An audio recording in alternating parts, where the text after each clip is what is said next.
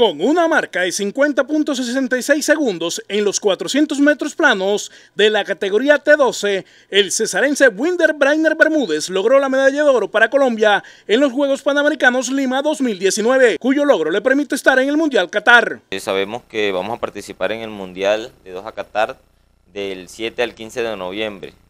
Eh, pues esta participación se da gracias a los excelentes resultados que se dieron en, los Parapanamericanos, ahorita en Lima, Perú, donde se obtuvo una medalla de oro en los 400 metros eh, con una marca de 50-66, el cual pues con esta marca y por ser acreedor de la medalla de oro, como quien dice, se nos da un cupo para la selección Colombia para disputar el Mundial ahorita en noviembre. Es de recordar que en el Estadio Atlético de Lima, Perú, el cesarense le ganó por una ventaja de 45 centésimas al mexicano Jesús Manuel Martínez, quien se quedó con la medalla de plata, mientras que el brasilero Fabricio Barros se quedó con la presea de bronces. Vengo en el mundo del atletismo desde el año 2015, desde los Paranacionales 2015.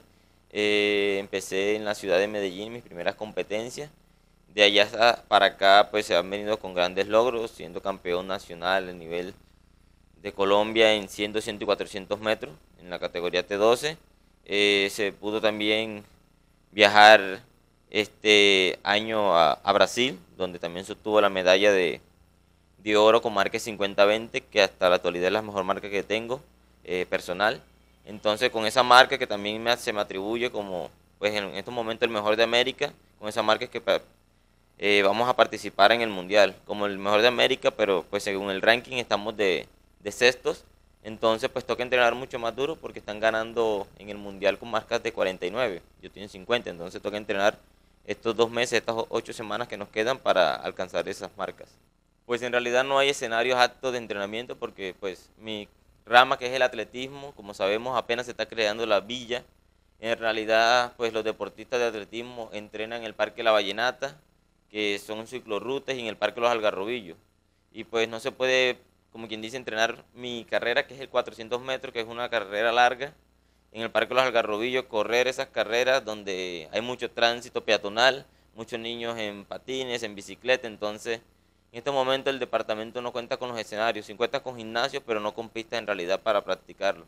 Entonces es como un llamado de atención que se le hace de parte del departamento al señor Tutuy a Franco Valle para que apoyen más a los deportistas, que en estos momentos el deporte está en, en un alto nivel, entonces para que el deporte siga así, hay que apoyarlo.